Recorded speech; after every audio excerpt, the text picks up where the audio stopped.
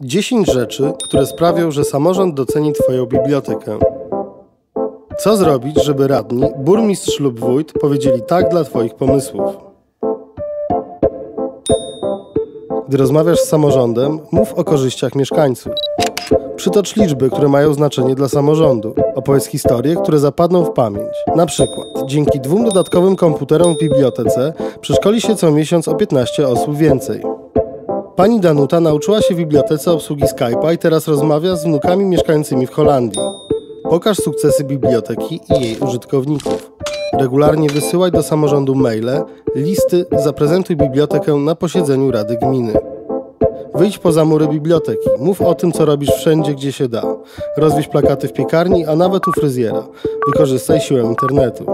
Rozmawiaj. Każda osoba to potencjalny użytkownik biblioteki, a także jej sprzymierzeniec. Współpracuj z lokalnymi dziennikarzami. Przecież burmistrz, wójt czy radni też czytają gazety i zaglądają na portale o waszej miejscowości. To naprawdę proste. Planuj swoje działania i włączaj w nie swój zespół i życzliwych wam ludzi. Dzięki wam wójt lub burmistrz docenią bibliotekę. To właśnie jest rzecznictwo. Zapraszamy biblioteki uczestniczące w programie rozwoju bibliotek na szkolenia z rzecznictwa.